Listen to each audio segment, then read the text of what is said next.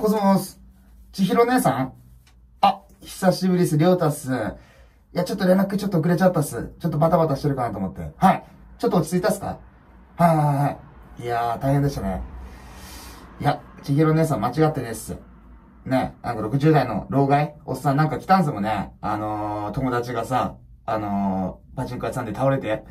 その時にね、言ったでしょ。税金の無駄遣いだとか。ふざけんなって話っすよね。いや、僕もその場にいたら同じくなってました。仲間のためだったらやっぱり、ちぎろのやつは昔からそういうとこですもんね。はい。はいはい。でも今回できっかけに、ちぎろ姉さんの音楽もみんなに知ってもらえたんで、常にプラスに変えていきましょうよ。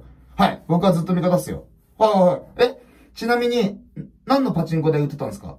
はいはい。あ、AKB っすか？はいはい。いや、僕、パチンコしないから全然わかんないんですよ。大工の源さんしかちょっとわかんないんで。はいはいはい。では、マジで、千尋姉さんあれっすよね。なんかみんな最近音楽家って、薬物とか大麻で捕まったとかあるじゃないですか。マジ、ロックっすよね。仲間のためにその、マジで好きっす。そういうとこ。はい。え、今度ちょっと、北海道とか、これですか？はい。一緒にちょっと僕もパチンコやったことないんであんまわかんないですけど、一緒に打ってみます。教えてくださいよ、姉さん。台とか。はいはいはい。ありがとうございます。そしたらちょっと、また近いうちに連絡します。はい。ちょっと寒いんでね、体には気をつけてください。はい。わかりました。はい。お疲れ気味でした。はい。はい、失礼します。